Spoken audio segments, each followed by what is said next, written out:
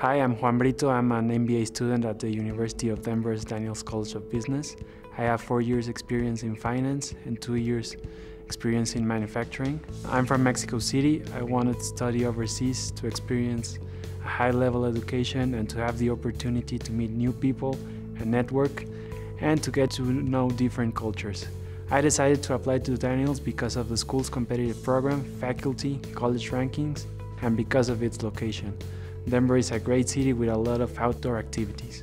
Daniels is a challenging environment, but also collaborative among stu students and professors. I've had the opportunity to work in partnerships with businesses to resolve problems and create value for them. This is such a great real-world experience. We call it the Daniels difference. I'm also enjoying a strategic finance class where three professors give us their experience of what they did in a similar situation of a scenario presented in class. And I also have to mention my cohort.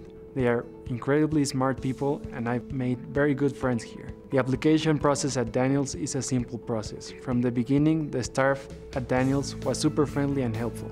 They answered any and all of my questions regarding the registration and immigration requirements. After I graduate, I plan on staying here in Denver to experience a professional setting in the US to use all the tools and new skills that I acquired through these two years. Coming to Daniels was one of the best decisions of my life, and definitely the most valuable experience both professionally and personally. If you're interested in the Denver MBA, I encourage you to learn more on the Daniels website.